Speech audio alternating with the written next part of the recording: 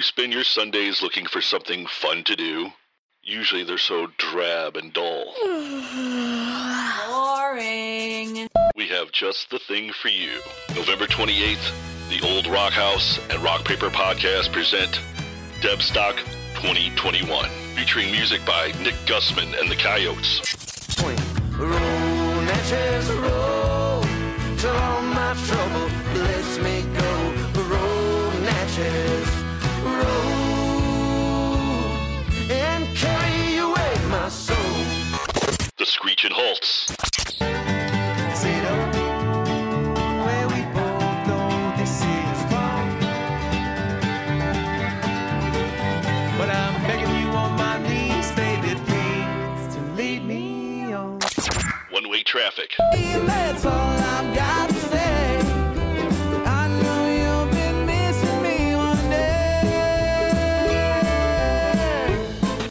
spank on ya. It's Debstock 2021, November 28th from 3 to 7 at the Old Rock House, 1200 South 7th Street, St. Louis, Missouri. Tickets on sale at metrotix.com. Debstock 2021, a benefit for glioblastoma brain cancer. Brought to you by Old Rock House and Rock Paper Podcast. Hey, everybody, Shane Presley here, Rock Paper Podcast. Thank you so much for checking out another episode of the show. Today's features Mollie Amburgey. Had a great time hanging out with Mollie over at Angad Arts Hotel and uh, talking a little bit about her comedy and her uh, how she got here to St. Louis and uh, her podcast, the Casually Mollie Podcast, now available on all your favorite podcasting apps. So wherever you're listening to this show, be sure to click subscribe on the Casually Mollie Podcast. And uh, had a lot of fun, like I said, hanging out with her. So hope you enjoy this episode. Do want to remind you that Rock Paper Podcast is brought to you by Roughneck Beard Company and American Rambler, located right here in St. Louis, Missouri, located on Manchester in uh, the Maplewood area. Swing by the shop or shop 24 7 at roughneckbeardcompany.com. Use my code RPP15 for an exclusive 15% off your purchase, including all your favorite beard oils, beard balms, their junk powder, or uh, one of my personal favorites, their roughneck beard batter. You know, ladies and gentlemen, it's officially beard season with fall and no shave November right around the corner. This is prime time to grow a beard, and Roughneck Beard Company has you covered. Using a good beard oil from day one of growth sets the stage for a faster, fuller, healthier growth. Avoid dry skin and the dreaded beard itch by combining with Roughneck Genesis for a vitamin punch that really gets things moving. Stop in today or order online to build your kit and kick your growth into high gear. Again, find everything at roughneckbeardcompany.com and use that code RPP15 for 15% off. Uh, you heard it from Tony and uh, Be- Beyond FM crew on the intro there, but uh, I do want to uh, let you know that Debstock is happening November 28th at Old Rock House in St. Louis, Missouri. Tickets available at metrotix.com today. $15 online, 20 at the door, bringing along a wonderful lineup of music for you, including One Way Traffic, Nick Gussman and the Coyotes, The Screeching Halts, and Spankonia. And uh, this is all to help raise funding and awareness for glioblastoma brain cancer. And uh, so come out and have a great time with us. Uh, hoping for some perfect weather. We can enjoy the big patio out there at Old Rock House and, and have a great time on a, a little Sunday fun day. Grab some tickets and come party with us. That is it for me, everybody. If you need me, of course, you can always find me at rockpaperpodcast.com. Um, hit me up on the socials. Feel free to email me at rockpaperpodcast.com. And uh, with all that out of the way, sit back and relax and enjoy this brand new episode with my friend Mollie Amburgey. Um, podcast is kind of like a, it's like a radio show that's not on the radio. It's on it's on the internet. Does that make sense? Uh huh. Yeah. That's also like my mom. Uh, it makes it sound more confusing, doesn't it? Uh, it sounds like this. Hey, everybody, this is Mollie Amburgey, and you're listening to the Rock Paper Podcast. Rock Paper Podcast. Scissors beat paper, paper covers rock. Rock beats scissors, Shane covers non-stop. Never know what new kind of guest that he's got coming at you. Live and direct on the spot, could be rock, folk, country, or hip hop, jazz. All kind of folks that he has. Could be an artist or a comedian to make you laugh on the. Double decker fudge round, rolling round town. Shane coming at you live and direct from ground zero. He's your hero, he's your bestie. Rock Paper Podcast with Shane Presley.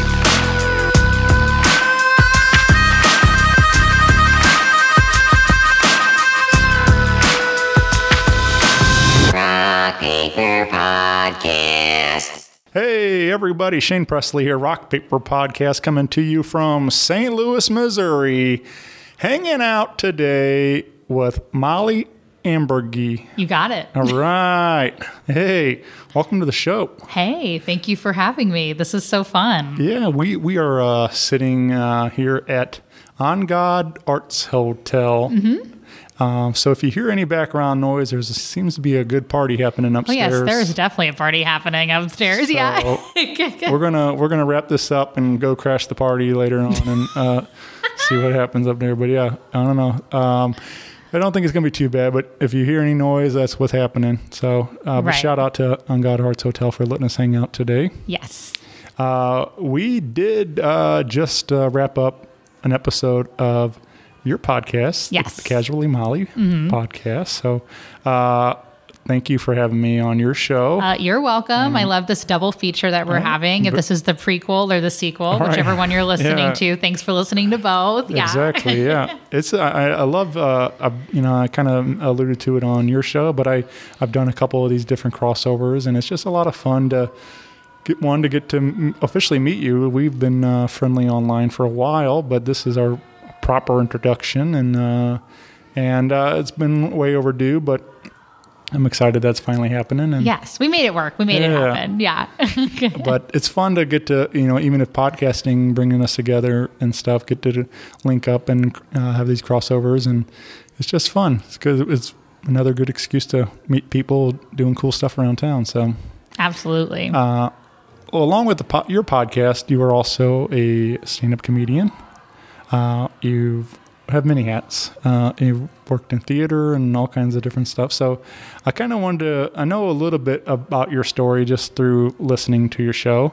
Uh, i feel like um, i feel like uh, you know when they always say first time long time you know kind of thing like uh, that's kind of that i feel like that like because like i've been listening to the podcast and i enjoy your conversations and you've had many of my friends on and a lot, a lot of uh, past guests of this show also. Um, so it's always fun to hear a completely different interview than what they may have been on my show and stuff. So I always appreciate that too. Like it's just, uh, you know, you maybe kind of know somebody in one a certain light because they've you you know, but then you like learn something completely different about them on a, your show. Mm-hmm. So I always think that's a lot of fun too to uh, have that kind of you know hearing a guest on two different shows like that. So it's cool. Um, but uh, so I know a little bit about your story. I know uh, what you grew up in Cincinnati. Is Yes. that right? Mm-hmm. So Yes. how do you get to St. Louis? What's the what's the, the you- yeah, it's like the million dollar question, Right. right? Like, yeah, a lot of people are like, "Oh my gosh, where did you go to high school?" And Yeah. I'm like, "Not in St. Louis." So yeah, no, I I laugh because that's actually the question too that gets asked in Cincinnati a lot. So Right. if you meet anybody from Cincinnati, they'll come here and they'll hear that that's the question. We're like, "No, that's that's a Cincinnati question. We asked that in Cincinnati." But stole our thing. uh, I know it's just like I think you guys stole our thing, but that's it. No. Anyway, it's not even important about where you went to high school. It's all about where you finish. But Well, uh, I think in St. Louis, Yeah. uh, it's like a, a class thing it, almost. oh, Uh, same in Cincinnati. sure. Yeah, actually, or Cincy. We go All by right. C I N C Y. So if we always say, uh, if you ever see somebody spell Cincy as C I N C I, you're an imposter. Um, but yeah, I I grew up in Cincinnati, and then I actually went right outside the window of the Angad. Um, I went to St. Louis University, which was super random. I thought for college. Um, I was just going to go to like maybe like Ohio State or University of Cincinnati and kind of stay local. Uh, but SLU allowed me, I wanted to be a theater major, but my parents were like, well, you can't just be a theater major. You have to add something to it. So um, a lot of schools are conservatories. So they really want you to make theater your whole life, which I was willing to do. Uh, but I'm really happy in a sense that I got to go to SLU and I had the opportunity to do so because.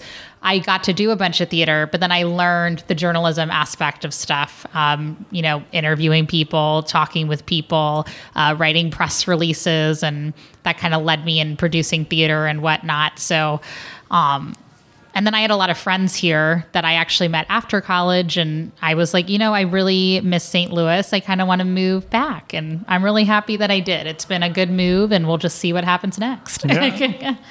Yeah, uh, I I've been here all my life, so I don't really know any different. Um, m- You know, uh, in the greater St. Louis, I like I said, I, I'm a little outside of town, but I always call St. Louis home. I you know, but I I do uh, you know often think about like what it'd be like to pick up and move to somewhere brand new. You know, start just to even for a little while, even just to see something different for a little while, but.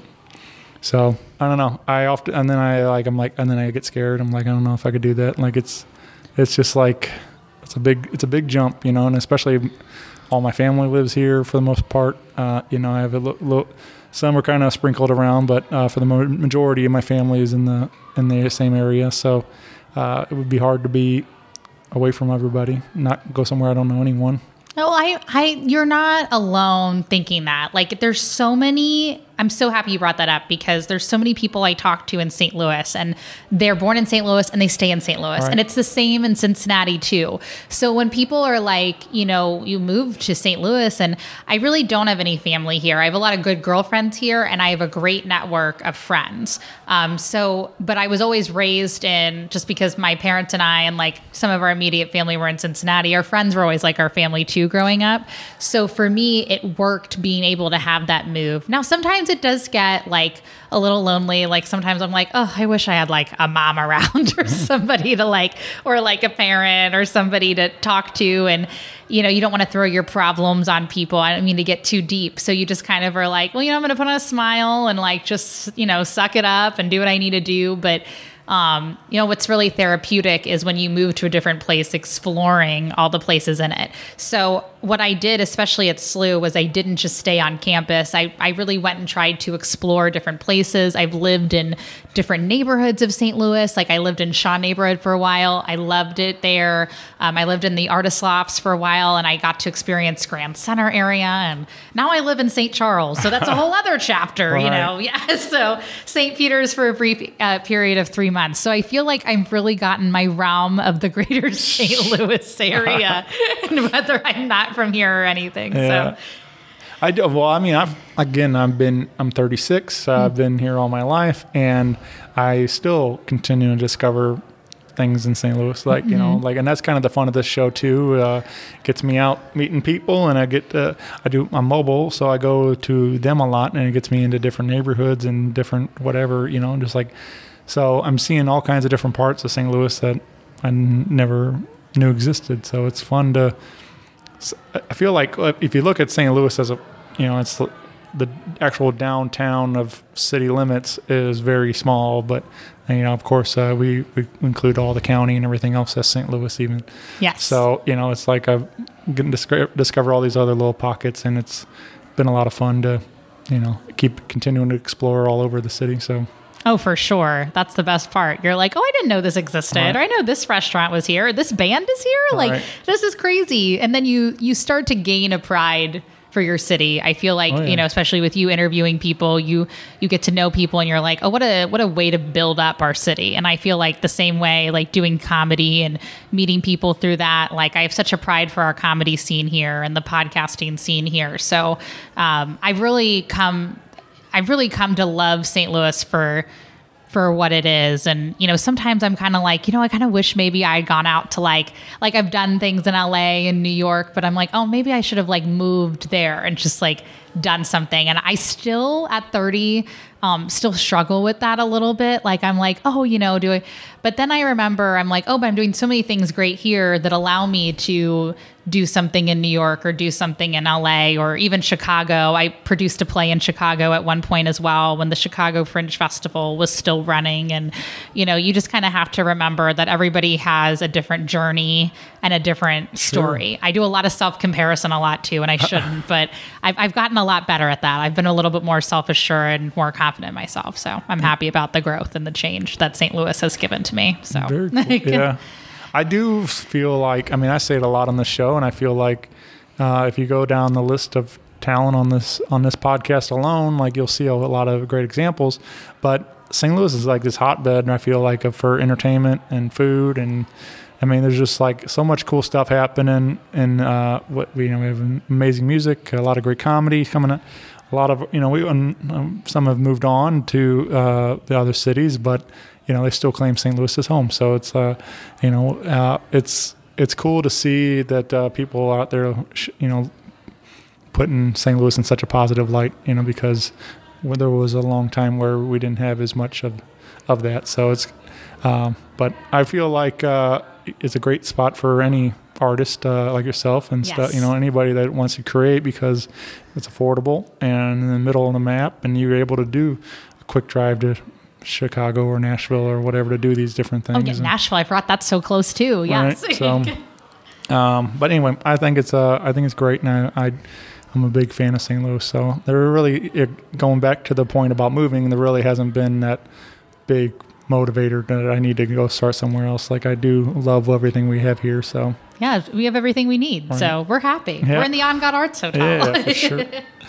So you, uh, you, you came here, like I said, as for theater and school and things. Uh, but uh, so comedy was never kind of a part of that conversation until Yeah, you know, I feel like a lot of times I'll talk to people who do theater and like comedy or like comedy and want to do theater. They feel like they have to choose one or the other. And I've been kind of lucky enough to be able to have a path for myself where I can do both if I want to, which, like, we should be able to do whatever we want. Like, life is short. And Yeah. I'm not trying to say that as a cliche, but I think it's really stupid that people, um, or just really sad that we feel like we always have to pick one or the other and we can't have multiple interests. And I could go on for days about that. Um, and I don't mean to get so philosophical. But uh, when I first came here, a lot of times when you're in theater and even growing up, like, you know, in theater, you want to be like the the drama, and you want to be in that you know that play, like an Edward Albee or something, like something really absurd and weird, which is cool, and it's a cool genre to see sometimes. But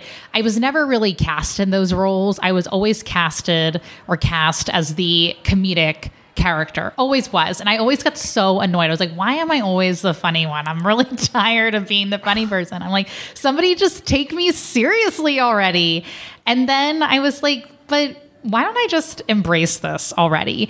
And um I got in a basically I had a breakup that really tore me down and I you know I was really overworked and so I moved back to Cincinnati and uh, just to be close to my family and I'm so glad I did go back to Cincinnati for 2 years after being in St. Louis for college and then a few years after college. So I'm 25 sitting in my bedroom, my childhood bedroom with my dog like sitting there I'm like what am I going to do with my life and I turned on Netflix. I have my Netflix subscription and thank God I did because I started watching and reliving all these like comedy um, specials and people I loved even watching on Comedy Central um, when we had cable and everything growing up. And I was like, oh my gosh, I love Nikki Glazer. She was like one of my favorite. How did I forget this love? I love Amy Schumer, Rachel Feinstein, like Ali Wong, like all these women. I was like, I can relate to these women because they're so fun. And I was like, oh, there is a niche for me. Like, you can be a fun woman and still like, you know, want to make people laugh and, you know, figure out different things that you want to talk about on stage. And this is possible. Like, people do this, and some people even do it for a living. So I, I started producing my own shows at first because I didn't understand the whole mic. I didn't have anybody to be like, so how do I get into comedy? Like, how do I, like, what, what's the, and I never had the balls or the guts to be like, I would never like somehow I don't understand how some people are like, so how do I headline? I was like, oh my God, I don't even I don't even know to start. Like, how do I do this? And you know, I started producing shows and people were like, hey, you're kind of doing a lot of material that you're not ready for yet. And I never meant it as a mean way. Why don't you just come do? And when I went to an open mic and saw you could just do five minutes, I was like, oh, well, that's a relief. I, can actually have growth and things to do, and I I feel like I keep improving and learning, and I I love our comedy community here in St. Louis. There's so, and I'm not just saying this because we're talking about St. Louis, but there's so many talented amazing people. Like i i want to have them all on my podcast. And it's hard because i'm like oh well i know you have a show coming up and you're headlining and you have an album and this but i'm so grateful that i kind of touched on it in cincinnati but i'm really happy i did more in st louis because there's so many good people to learn from. So yeah if it wasn't for women in comedy i was like oh i, I don't think i would have found it. I think i would have kept chasing something different. Yeah, yeah, and I mean, and I think that's a great example, like you're saying, that one to have uh, that represented. You know, having these uh, women to idolize and look up to, and that, you know, seeing seeing a face like yours that you can be like, hey, look, I can do this too, and this is somebody that I can connect with, even though I don't know this person, but this Right. they're, they're some they're doing something that I wish I could do. So yes um, and uh, I think that's a great motivator for sure. Like to get up there and, and give it a shot. And so uh, I've always been uh, comedy's always been a big part of my life. Um, uh, you know, a ton of Comedy Central presents. Uh, you know, early days uh, Oh, yeah. of that. Uh, watching a lot of SNL, and uh, Mm-hmm. you know, and of course, uh, I don't. know, I was talking uh, a little bit about it with. Uh, uh, friend, uh, mutual friend, Corey Stewart. Uh, Oh, love her. Hey. Corey. Hey. Yeah. but I told her, do like, you know, like I remember like in 97, Farley was like my hero, you know, like I'm. yes, Yeah. I agree. I did like so much to like emulate Chris Farley. Just like, again, like here's a uh, you know, a little heavier guy, a big guy doing all these things. And, uh, you know, it was something like I could see, I, you know, I connected to that image, you know, it was like being this, the funny kind of guy in school, some, and, uh, this Yeah. kind, this kind of character. Um, so, uh, I, I, but I never really, I never had that itch to perform. You know, it was never that I need to, um, you know, do stand up or be in the play and stuff. I, or whatever it was. I just, I don't know, nothing spoke to me that I need drew me to do that. But so I'm, I was telling you uh, um, on your show that I spent a lot of time at the Funny Bone, and I was hanging out there, and all these people kept saying like, "Do you want to do comedy?" You know, because that's the thing. Like people, you're hanging out at the club all the time. Like that's usually the way to get stage time. And so I always ha- kept hearing, I'm like, no, I'm just a, a fan of the art. I appreciate. I just wanna be here, yeah. I just appreciate watching the uh, people work. You know, like it's it's fun to watch. Um, again, like you're saying, like kind of de- develop that material, getting that, starting with that five minutes, and finally finding that you know, trying out those different punchlines and seeing what, and all of a sudden, you know, that week that it clicks and it's like, oh, there it is. You know, finally getting getting what that joke deserves, or what you know, finding the right mix of words to make it the funniest you can and stuff. So, I've always been a real fan of the the art form of that. You know, watching that all come together. So, um, and of course, you know, people people see the Netflix specials. They see the polished version of it, but there's a lot that goes into uh, many many years and uh, time, you know, and stuff that for for most of them. And uh, you know, uh, so it's uh, it's fun to see the grind, though, just the, the hustle, watching people work and make it happen. Oh, absolutely. Yeah. So- Go ahead. Sorry. Oh, I was, but yeah, I was just like, so I spent a, several weeks just hanging out, watching my friends do that, and it was a lot of fun. Oh, I mean that's that is actually and people well not everybody, I shouldn't say that. We'll just call him out. Jimmy will laugh at me because I'm like my boyfriend will laugh at me cuz I love seeing people grow. Like if I've been watching, like that's why I stay for mics usually the whole time. Like if I ever leave a mic early after my set is done, it's honestly either because I just don't feel very good or I've just had a really long day and my mental health wise, I'm like, love y'all, but I gotta go home. Mm-hmm. But majority wise, I will stay, A, because I like hanging out with people and there is that camaraderie aspect of it. And I, you know, I love my comedy family. They're great. Uh, but seeing somebody work on a bit that they've been working on for weeks and seeing the legs of it come together and having them like have that spark and like something added on just because of the feedback from the audience, it is the coolest feeling to see that. And it's not even my bit. like, this is amazing. Like, I'm so happy for you. And I do, I laugh audibly. I want somebody to know, like, I'm enjoying myself and I'm not embarrassed. Like, if I think your bit is funny, I will tell you, I will say that was an amazing set. And I'm not throwing any BS. It, it really means a lot to me to see uh, people that I care about succeed and grow because I know as a comedian, I've been doing comedy for like about five years now, give and take with 2020 COVID. Um, when you have that feeling after doing like what people it's just like what you said the polished work.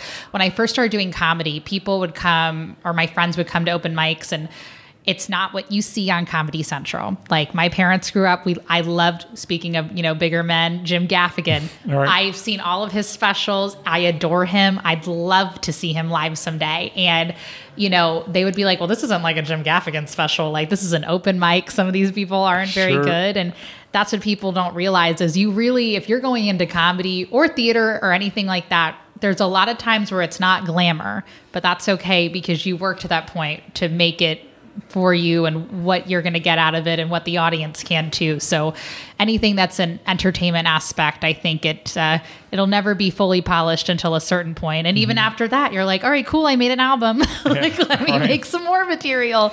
Uh, so it's amazing to see that. I love it. And like uh, you know I, I I feel like podcasting is is like that like and there's a lot of things that there's that you just can't you it's not like you can just stay home practicing com stand up comedy at the in your bedroom you know like no there, you know like you can try I right guess, I mean you but can yeah. there's there's parts of it but Yeah. you definitely you're never going to be able to know what it's like to perform in front of an audience like that until you do it. And and the same like I could record all the podcasts I want, but I don't know if it's gonna be any good until I finally just get out there and just do it and then put it you know put it out there for the the public to perceive and stuff too. Because like you know it's like there's there's so much of this that you just have to you know people are gonna see the bad you know it's like it's hard Of to course, it's hard to it's hard to just come out of the gate being great you know so Mm-hmm. uh, so that's the thing it's like it take, everybody's got those that you know years of struggle trying to get to where they want to be at and but uh, you know so I I'm, I'm thankful for anybody that's stuck with me you know doing this podcast that listening to the bad stuff you know and and uh, so I feel that way about Yeah. my podcast too, so I get it. Thank you, anybody, for listening to bad audio and still subscribing. Yeah. Yeah. but you know, it just it'd be nice if you could just like, uh, hey, forget all that stuff. Just focus on you know the, where It's I'm like the present where I'm killing Yeah, it, right? Yeah. I totally Yeah. understand. Yep, been there. Yep. but uh, you know, it, it would be nice if uh, if that was if it was different. But I think it's all part of the learning curve for- for sure. You know, as we uh, continue to grow Mm-hmm. as people and you know entertainers or whatever you want to call us. So. Absolutely. Yeah. All about growth, man. Yeah. I appreciate that. Mhm. Uh, so you uh, so so you were you were comedy came first, and then you decided to launch the podcast. Yes. So I will be honest, and I, I laugh about this a lot.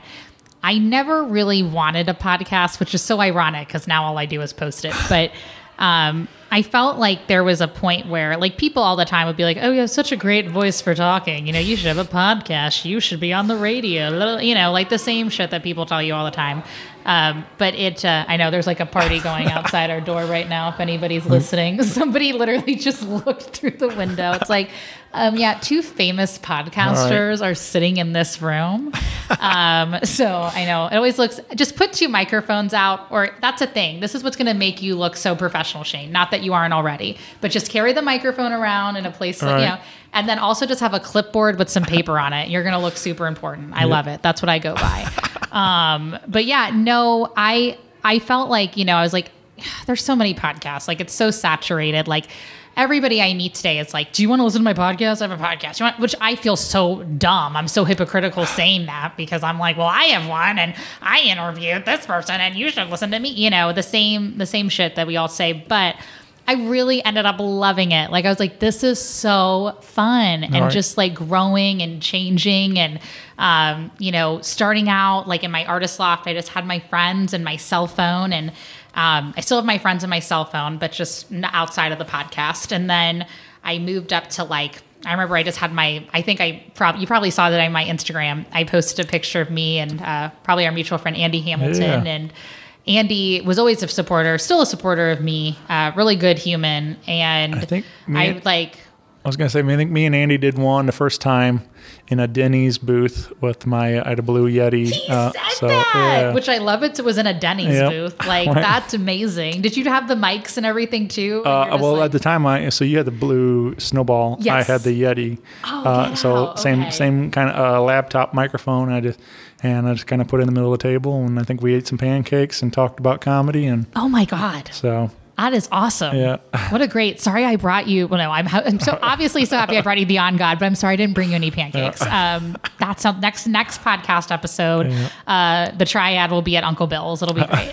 so But that's uh, you know, again, uh, humble beginnings. You know, we all started somewhere Yeah. with a with a microphone and a dream, and make it happen. So Yeah, it was like we were in a basement and I had my laptop and the like the microphone and I did that with a bunch of people like JC Sabala, another great human, didn't even make could have, but didn't make fun of me once. He was like awesome, great interview and those people who have like stuck with you, then eventually when I, you know, I met Chris Denman, he's like, "Why don't you just try out my studio?" You know, now it's it's great because my friend Key, who we both know too, like she's my you know kind of producer of everything now, and Grace Robertson, and it's just like such a fun girl gang, and just the growth of everything, and being able to like interview some really cool national headliners now, and interviewing more musicians, which was a little bit out of my comfort zone, just because I've never really been. I played piano and I appreciate music, but now I'm learning more interviewing styles and what to ask and what to say, and. Um, it's just it's been so fun and I, I wouldn't have gotten to that point if it hadn't been for me trying out comedy and meeting the amazing people i've met through it so i'm so thankful yeah, well, you can find Casually Mollie podcast on all the apps, all the streaming. Uh, wherever you're listening to podcasting at, and um, you can find uh, the YouTube channel. You do a lot more video than uh, also with the show. So yeah i started doing video during covid when that first started i was like well no time like the present might as Right. well start doing video and now i'm really happy we're doing it i really liked adding the video into it as well Yeah, yeah. It's uh, I I I've been you know I've been trying to do more with video, uh, you know, a lot more of the. Usually, I just post the performance stuff. Uh, yeah you know, it's it's it's tricky when you're, uh, you know, the host, the webmaster, the producer, the editor, Mm-hmm.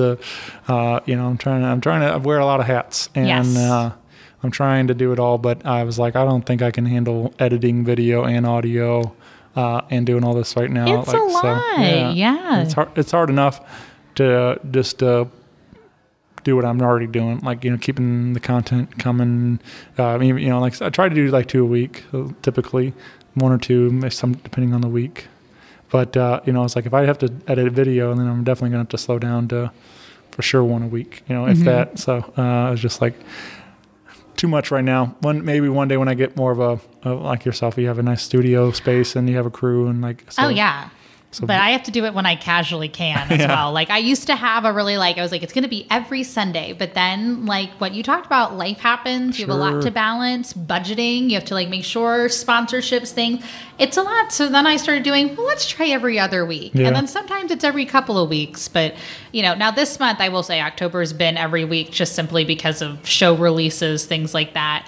Um, but you're, you're absolutely correct. Like sometimes it is hard to kind of do everything at once. In theater, I, when I ran my own theater company, I was, you know, the marketer, the director, the writer, everything, the stage manager, and it was a lot. So when that five year point came where I ran Good People Theater for five years, I was like, do I want to expand this or? And I was like, no, I can just produce something independently, which I have whenever I want. I don't I don't need to run a company. I don't need a theater. We're fine. And it was the best decision I made Right. to just put my mental health first before anything. So Well, yeah, it's uh, you, you- so uh, like I said, we had we do have a mini uh, crossover uh, of friends. You know, Yes. like a lot of a lot of comedians uh, that have been on the show have also been on your show, and uh, so that was a lot of fun to dive through your uh, catalog and hearing a lot of uh, greats uh, for Same sure. to you. Yeah. Mhm.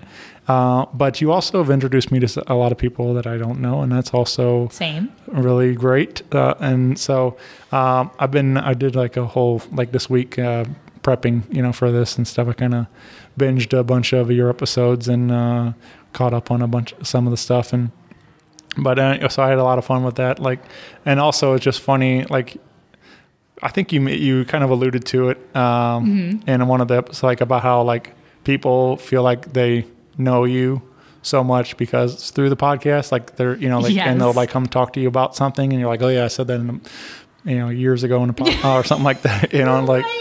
Uh, and how like so I don't know because there was one of them I, I think I just listened uh, I missed it uh, when it was live but uh, or you know ri- originally posted with uh, John Maddie and I and I think John Maddie, love him. uh, yes. Yeah, one of the best. Which uh, it's also the that one's funny to go back to listen to now for many reasons.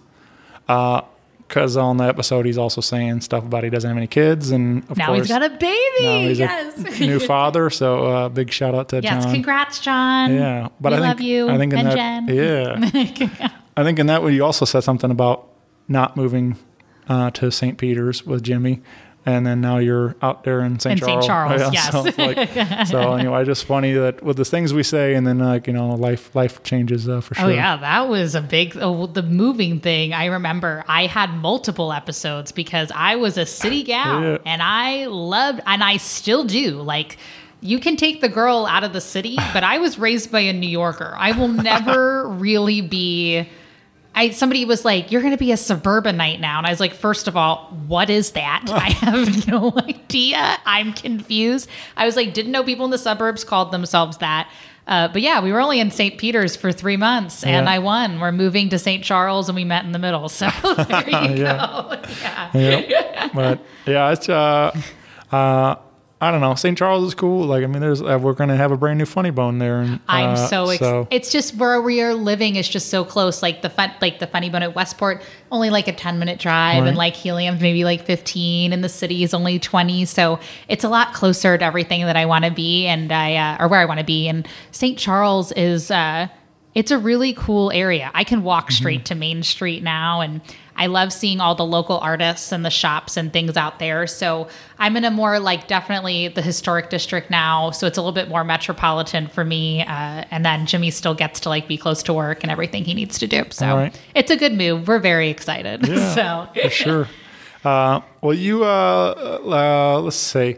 Uh, one of the other ones I recently listened to was uh, on, on Andrea oh yeah, Andrea Vasquez. Yes. Vasquez, yeah. Oh, which uh, I, I mean, it was a fun conversation. But uh, first, I heard her music and very impressed. Uh, you know, I'm, I'm a, I do love country music. There was a lot of things that she was saying that uh, I connected to. The reasons like the that the storytelling in music and stuff, which is something I really like. I love singer songwriters and storytellers, which is why I did a whole. I still uh, trying to do it, but it's been kind of put on hold since March 2020. So uh, I've only got to do it one. We did one outside a little bit ago that got to revive my songwriter showcase, and uh, and that was a lot of fun. So I'm hoping to do more of that. But anyway, but I love that kind of stuff. I just love singer songwriters, and Me too. so yeah. it was cool to hear her and uh, you two having a nice conversation and uh, bonding over some some Bravo and Oh. uh, so, I know. And I was like, she's like, I just been watching Bravo. I was like, I don't need to be embarrassed. I love the Real Housewives. It's a good, like, mindless thing to watch. And it was just funny how we were going back and forth about the drama. And Yeah. I was just laughing. I was like, oh, I found somebody. She, and that's when she was like, DM me about Yeah. it. But yeah, on a professional level, she's adorable, lovely human. Off even off the air, she was wonderful. And um, the same thing. I love storytelling as well. Um, that's why I love theater and even comedy. Sure. And you know, I with music when somebody has a story behind something. That's like when I heard her song, I was like, I like that. There's it's a country ballad. Uh, but I'm a good sucker for a good ballad. I like soul music too, and that Yeah. can be a ballad. And there's always a beautiful story, even if it's of heartbreak. Sometimes a heartbreak, a journey to heartbreak, makes you stronger and whatnot. So I mean, in Yeah. my in my personal life, I do can feel like I'm very happy and positive and think. But I l- love some terribly sad, depressing music, uh, and I don't. I don't. It just. Uh, you know, I, so I'm drawn to a lot of those sad heartbreak songs and stuff, and um, so I don't know. It's uh, it's weird how it works like that, but they're fun to me. I mean, like you know, in a sense, uh, not I enjoy I enjoy them and stuff you know, as much as you can enjoy somebody else's heartache. But you know, it's Right, like, it's, uh, exactly. but Mhm. I guess as part of me, I can kind of you know, you all again, it's the relatability. We've all been there. We've all had, uh, you know. Uh, heartbreak or love stories i feel like there's so many of those that we that people connect to and stuff so Yes. but yeah, I'm uh, I'm with you. I'm uh, those some of those sad ballads like that. They're they're always uh, frequent on the playlist and stuff. Oh, absolutely. And like sometimes, like um, Kacey Musgraves, I love her. I was just listening to her song called Camera Roll. She just uh, performed it on SNL too, where she was sitting at the desk and it was talking about a breakup and stuff. And I put it on repeat for a little bit just because it was like, I don't know. I just was like, oh, I love that she was talking about kind of like the heartbreak and change of, you know, different things. And so it, it when you have sing, singer songwriters write about stuff like that, I feel like it, in my opinion at least, and I could be incorrect, I feel like it normalizes those experiences because those experiences are, are really hard to talk about. Like no one ever wants to talk about when you're struggling or when you have heartbreak. It's depressing. Nobody mm-hmm. wants to hear about it. They just want to. So by hearing that, like music, at least puts like a melody to it. So you're like, okay, this isn't as painful Right. as it could be uh, because I have a song and um, a tune that's helping me through it. So at least from my perspective, that's how I see it. Yeah. Uh, there's like uh, uh, I was just talking about the other day that um, you know that song "Pumped Up Kicks." No. Uh, I mean, it's like a huge pop song, like a couple years back, but I'm really bad with Yeah. song titles though. Like I'll hear a song and be like, "This is a great song," and then somebody's like, "You heard that song the other day? It's this title." I'm like, "Oh, it's it is okay." it, it came on the radio. I was just thinking, thinking about it, like uh, that. You, uh, it's like uh, it's a great song. I mean, it's like um, I'm sure it's amazing. I just wish I knew. Let me see here. cross- are we just looking it up? We're like, mm. We're jamming out. We're dancing. I'm already pumped up. yeah. It gets me though. It's like such a fun little beat to it. Okay. We're jamming. We're here. Got a fun intro. And I was really like, is there like a lyric that's going to come up that I should be shocked by?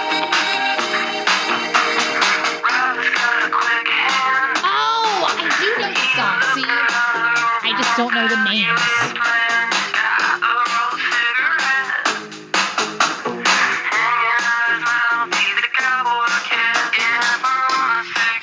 But this is like such a fun, like little tune. I know, I'm jamming my su- shoulders Yeah, super catchy, uh, kind of dancey, and a great hook to sing along to coming up. Um, but it's like the most depressing shit when you read the lyrics and stuff. It's like so. Uh, it's about like a school shooting, and like so- yeah, like I had no idea. that's what I'm saying. Like it's like it's like that's the power of music. They can kind of you blend it in, you know, it's the juxtaposition of a super sad lyrics and great uh, melody and stuff. You forget like, oh, hey, uh, I, I often compare it to uh, there's a great line in um, Robin Hood Men in Tights. Uh, have you ever watched that movie? No, Uh, but no. now I got to go watch it. Well, Okay. it, it's a Mel Brooks movie, uh, which is one of my absolute favorite comedy writers. Um, but there's a line where he says, uh, "It's um, the sheriff of Nottingham and stuff," and he and he comes in and he's like, uh, he's uh, talking to the king or whatever, and he's and he said whatever it is, uh, and he goes, "Could you just tell me the bad news in a good way?" And then he's like, and so he's like, oh, he just like starts laughing, telling he's like, Robin really, you know, kicked the crap out of us and all of whatever, you know. He's like, and he's like, that's awful news. And anyway, so it just makes me laugh that like the whole tell me the bad news in a good way, and I feel like that's that song. Like it's, but you'll never hear it the same now that I've talked No, it I, out. I want to go like when I was younger. I don't know how you were, but I used to print off lyrics. There was like on websites, it was Sure. like A to Z lyrics Yeah. or like lyrics with a Z.com or Right. something. And I would like read. I have, I'm sure there's somewhere in my, like, you know, my house I grew up in, but there's uh, probably binders upon binders of me. And I would like study the lyric. And I kind of miss doing that. So maybe I'll bring that back so I can finally like remember some of the meaning behind these songs or learn the different meaning behind you know all the songs here. So thank you for telling me that. But I just am terrible with song names. I mean, I know. uh, I don't uh, I don't know if I I mean I'm I'm assuming that's what I my I don't I've never heard the actual songwriter tell me that Mm-hmm. it's about a school shooting, but there's all kinds of things that uh, if you listen to or you read these lyrics and stuff, it's like. Oh, this is pretty messed up here. Like, uh, so, Wow. Um, kind of about a kid getting teased, kind of thing, and you know, so I don't know. It's, uh, but again, the power of a song, like it just, uh, it's and the melodies and everything else. Like it's, I don't know. I like music that it can do that to me. Like take me to somewhere different, even though they're telling the story and stuff that's super sad and, Yeah. and dark and twisted and. But uh, yeah. Anyway, uh, so uh, I think we were talking about your podcast somewhere in. Right, we just got on this like deep tangent. It's okay though. I love it. It was a good it was a good tangent. Yeah, it's a good tangent. And comedy does that too, by the way. Like For somebody sure. could be telling a deep dark story and then make it funny and you're like, "Okay, that was kind of dark, but that was great. Yeah, Dark humor. There you for go." sure. So you I- you had a good point, Shane. You're I- doing awesome. Thanks. Well, I do like uh, there's uh, Ryan Sickler has a show called The Honeydew, uh, and he has people come on and tell some really dark and you know all their worst moments, you know, of their life, and and then they make it funny. Yeah. And it's like I don't know, it's really. I find it. Uh, I think we mentioned in your show too about how like listening, even listening to podcasting and like hearing people tell your so, story that's you know same reason to music too. Like, but I've heard like these great stories and I'm realized like oh I'm not alone in this. Like there are these feelings and stuff. So I always uh, really like what he has to say and like and it's nice when people are vulnerable to open up and tell their stories and then Ryan just makes fun of them um, which and makes it funny. So it's it's uh, a great show uh, if you haven't heard it or checked it out but um, I would say check that out. But uh, yeah I don't know. I never uh, it's so it's funny that they can go from like crying to immediately crack a joke and laughing and stuff. Like it's it's funny how they can do that I, um, it's an art form in its own self Oh, absolutely. so Yeah, what vulnerability to to be able to do that. Like Right. I feel like, you know, you start to anytime you do comedy, you know, you're really kind of honing your own voice and you kind of have to learn what that is sometimes. And I, I say that even for myself, I've learned to be a little bit more vulnerable. Like on the stage, I've been like speaking of the move, I've been like talking about moving to the suburbs and a change. And even though that's kind of more like still like soft on the surface for me that was like such a big deal so to be able to talk about that and have people come up to me after a show. I uh i had just done a show at the alpha brewing company. Um, these really fun comics from chicago came in and uh, we did a show and why i bring this up is just like you were talking about this lady she was so cute. She's like my name is stephanie and she's like i totally understand how you feel when you walk into a party and you don't really like feel invited. And she's like and i know i have Ste- my name's stephanie i have a walmart name. I was like i don't have anything against stephanie's like? Walmart I'm like, name, huh? I'm like i was like I, that's I'm, I'm sure there's stephanies over at big lots too. Like don't worry about it. And she's like but you know like we all go through that and like i love that you just like made it funny and made it your own and i was like oh so shout out to stephanie um i don't know where she's Yeah. from she was really cute so it's uh you know we all have to kind of find our way and be vulnerable with that and i love that i'm gonna definitely check out that show now for sure Yeah, yeah, Mm-hmm. uh, yeah. It's a it's a good one. Uh, so uh, so you're so you've been uh, at the podcast game for several years, right? Yeah. So like- well, so it technically maybe like three or four years now. Yeah. I I I'm trying to think like two. I took a month off when I first Sure. started just because life got crazy for a second, and then um, actually Yale Hollander was so Yeah. funny. He was like, "Are you still doing your podcast? I actually really enjoy listening." To shout out to Yeah. Yale for doing that. he was like, "You should keep doing." it. I was like, "Okay," and He's one of the know, best. Oh yeah, one of the best. Just a good person too. Like that's another thing. Whenever you just find good people, um, as we talked about earlier when I interviewed you, just like having that circle and people that support you. It's just you know you don't need to have a bunch of people. Just like the a few people who just really support you and are there for you. It's it's always a, a really good feeling for Right. that.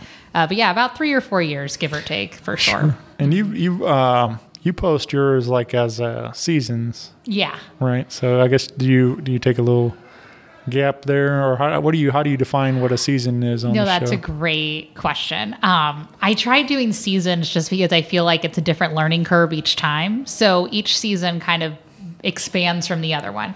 So like the first 10 episodes were in my apartment where I was still like kind of learning. And then the next like 10 or 20 episodes were when I had my computer with my laptop. And then as I grew on, it was like, oh, here's more comedians and we're doing audio in the studio. And then now here's we're doing video and here's a theme song that I added. And like here, you know, it's just the growth of it.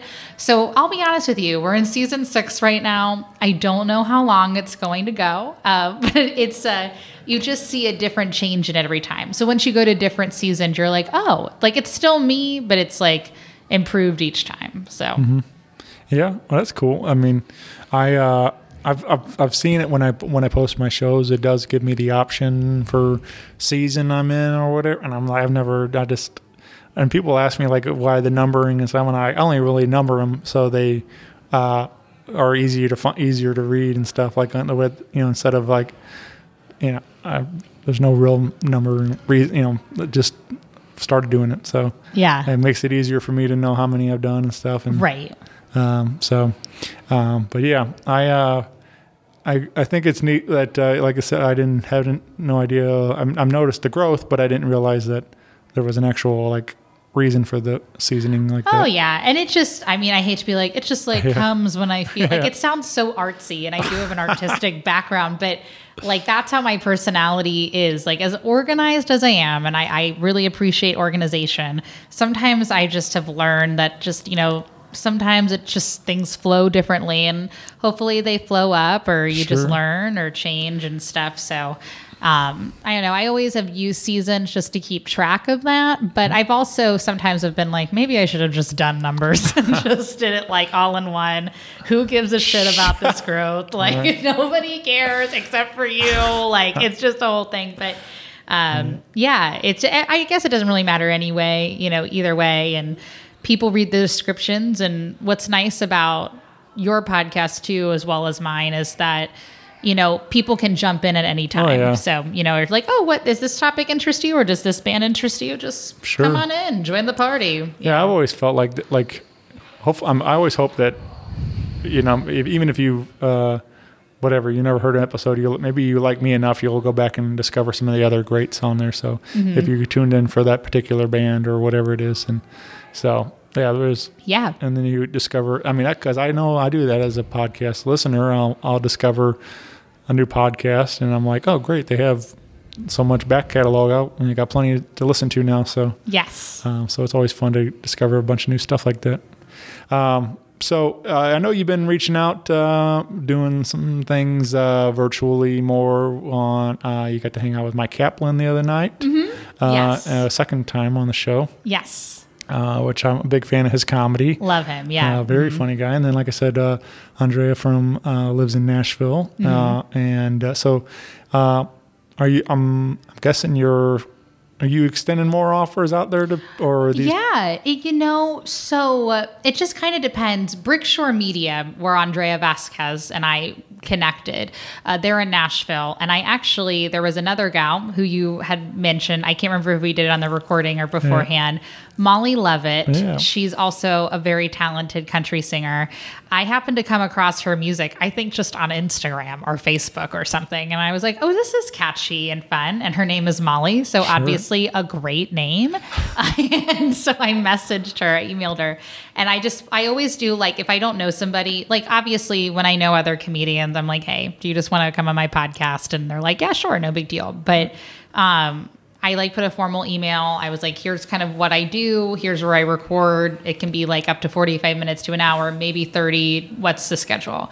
And Nicole Zeller, who works for them, emailed me back and I had Molly on. She was wonderful. And so I was like, now that I have that connection through Brickshore, Nicole was like, if there's anybody that ever interests you, let me know. So I just sent Nicole a quick text one day and was like, hey, if Andrea is interested, would love to interview her, and she luckily was. Yeah. And you know, you just grow that uh, that networking with them.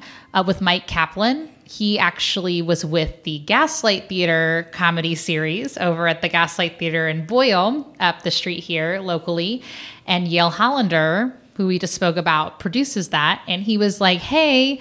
Um, don't know if you're interested, uh, Mike Kaplan, and I was like, First of all, been a fan, long time Sure. fan, long time listener, long time caller, um, first time caller, excuse me. Uh, I would love to interview him. And we really hit it off the first interview. We had a great time. And then Mike, and actually, Mike reached out to me and was like, Hey, I'd love to come on again as I have another show coming up on Helium. And so, yeah, he's great. We saw, saw his show on Sunday. His girlfriend Rini is very sweet. And um, that was that was just nice to be able to have that connection. But it just it's all it's just like what we talked about. Long story short, it's all about networking Right. and having like Helium has sent me a few comics, which has been great. Tony Roberts has been on. Um, I've always loved Tony Roberts as a comedian. So being able to interview him and have him be so humble and so welcoming, just seeing somebody you've like idolized their art for years be so kind to you as a human, it just almost makes them better Sure. and amazing. Um, and then of course, like all the local people I've interviewed, they're all rock stars to me. Oh, so yeah. yeah. Do you have uh, a, a bucket list uh, type of thing going? Have any, you know, uh, others that, uh, I mean, obviously you're getting great guests and stuff. And most of them, uh, like myself, we're, we, we draw from our, our surroundings, our, our, our friends around town. So, uh, but, uh, I mean, you know, like you're saying, you're getting some people coming through town and sit down and do the show with you. But is there, are there, I'm guessing there's, it's got to be somebody, right? There's got to be a couple people on that list that, Oh my uh, gosh. I mean, if Britney Spears could talk to me, like I no, I I've always like loved her way before even this conservator. I obviously love her more now for being strong and amazing, but I'm like, you know, anybody like somebody probably from my childhood that I and I I can't think of anybody on the top of my head, but anybody I probably idolized growing up, like Britney Spears. I would like love to talk to them and be like, "Thank you so much for being such an amazing and positive impact on my life." Uh, but yeah, just more comedians uh, that would be coming through town. I'd probably like to, since I've been starting to do that now.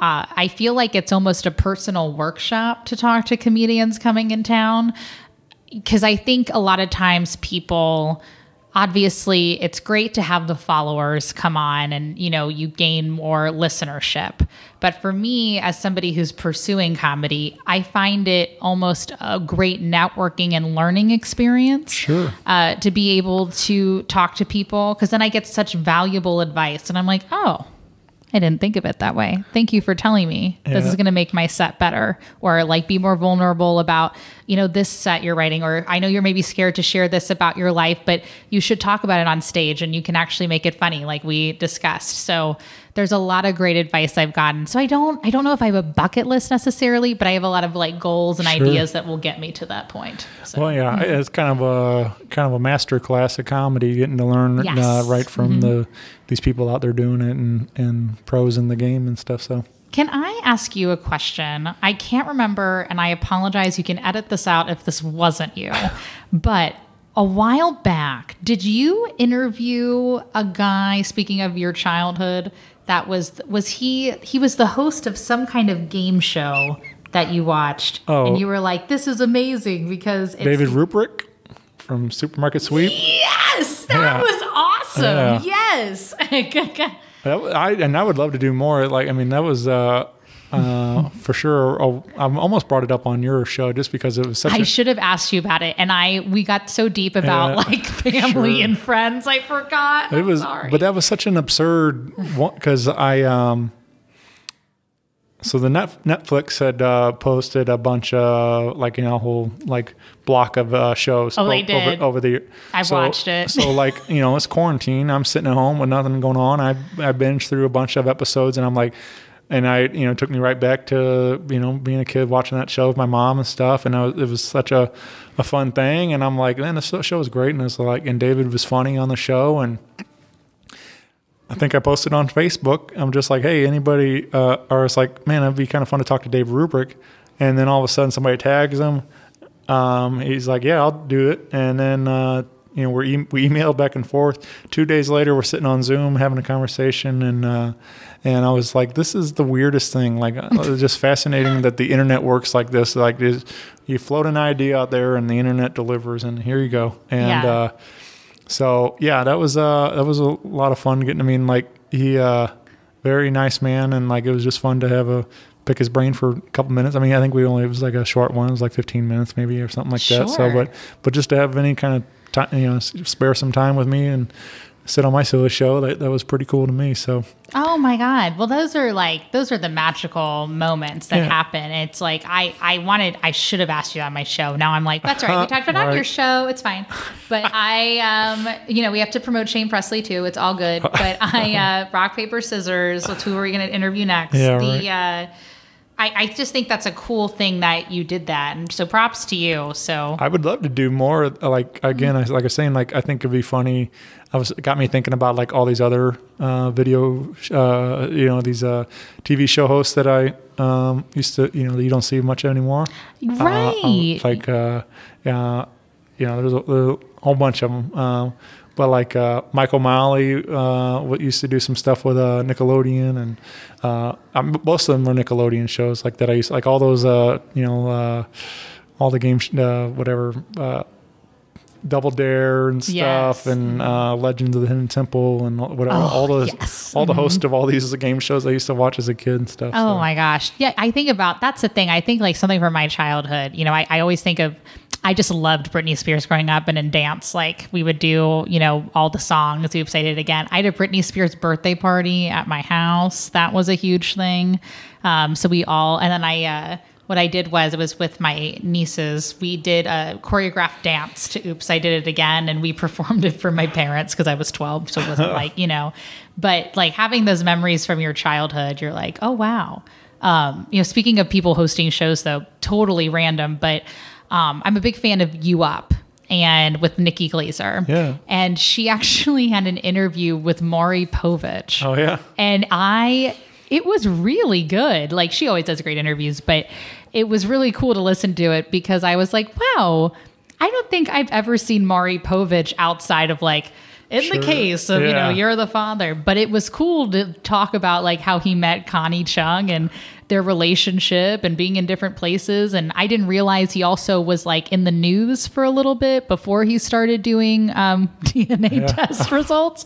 So, but it was it was cool because I got to see a whole side of Maury Povich, and I think that's what's cool, as you know from podcasting, is yes, we see these people performing or doing, you know, what they do best, obviously, and what they shine in. Right. But getting that humanity aspect um, Absolutely. outside Yeah. of it is always the best part. Like even with my friends here, like my local comedian cohorts here in St. Louis, it's it's amazing because I'm like, I had no idea you felt that way or you thought that or that's your favorite show. Like I would have never and it's almost endearing because you're like, I love you even more now than I did before I had Sure. you in here. It just you always leave with a good feeling. So Yeah, I do. Uh, you know, as you're talking like Mike Kaplan and, and more of these um, established comedians uh, that uh, that we, you know that maybe done several interviews. I always try to whenever I get that opportunity like that, I always try to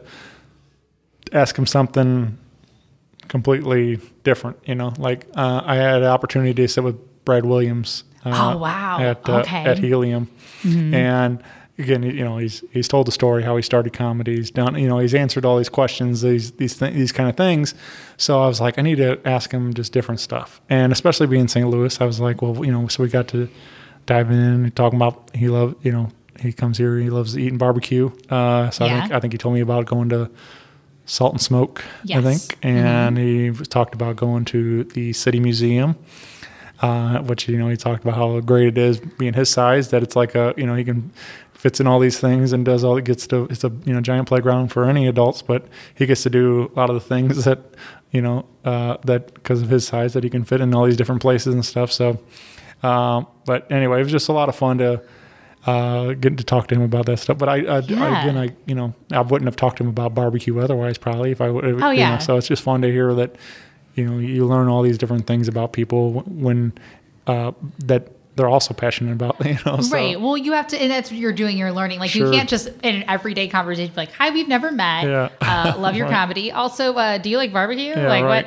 It's like, oh, I'm a vegan. Like, Yeah. like it's just you know, you don't. Sure. You can't just like start out. I mean, I guess I don't know. Maybe you could start out that be like, do you like Thai food? But I don't know. I've never. It's exactly. It gives you more of a forum or a professional aspect Oh, of being able to talk to people. And I I understand how you feel like I'm an oversharer, so I feel like I can connect with a lot of people regularly, but that doesn't always mean that everybody's the same way. They're like, all right, we really don't need this personality. sure. We're good.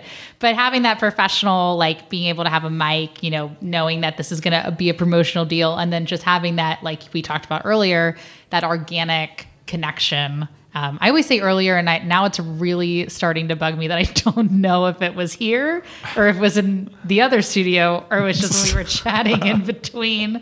So I'm sorry if this is confusing to anybody, but um, I love that. I think that, I mean, with Mike Kaplan, the last episode we did, the same thing kind of happened the first time too when we were getting to know each other. But um, we talked about birthdays and aging, and we were laughing because he was like, and now that we had this deep discussion, come see me at Helium on Right. October 10th, and I promise you'll laugh. But, you know, would I have talked about birthdays and aging with Mike Kaplan or probably Sure. anybody? No, but because you're in that forum, you you do. So, Yeah. yeah, I totally get what you're saying. Yeah. Well, you, uh, so, uh, you know, again, we got the podcast out there readily available. You can, uh, like I said, deep dive like I did through a bunch of uh, past episodes and catch up. And, uh, um, and then uh, you can see Mollie performing comedy uh, around town.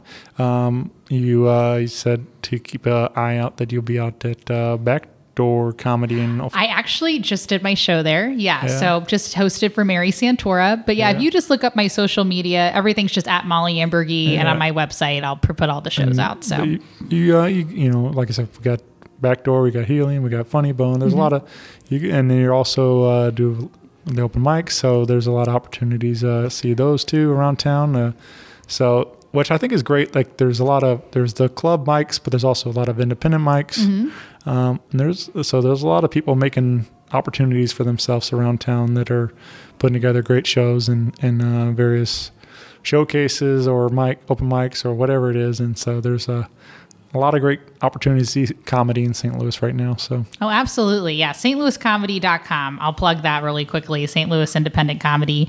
Uh, Chris Sear started it, and then he helped me take over, or he had me take over the website, and I help out with the social media. And Gail Hollander, Sam Lyons uh, are also on there as well.